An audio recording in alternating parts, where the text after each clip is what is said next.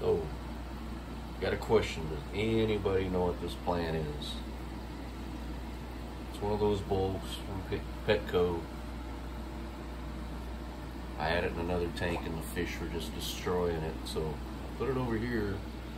And I've been watching this runner for the last three or four days. And it comes all the way over here. And it ends up in that.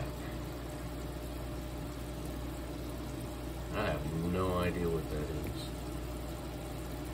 It's pretty cool. I had to leave the lid open because it had a bud on it yesterday, so I left the lid open to see if it would flower, and it did. It's pretty cool. Anybody knows what this plant is? Put it in the comments, please.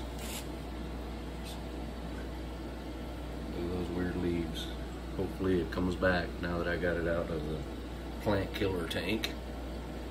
But once again, does anybody know what that flower is? Know. Thanks.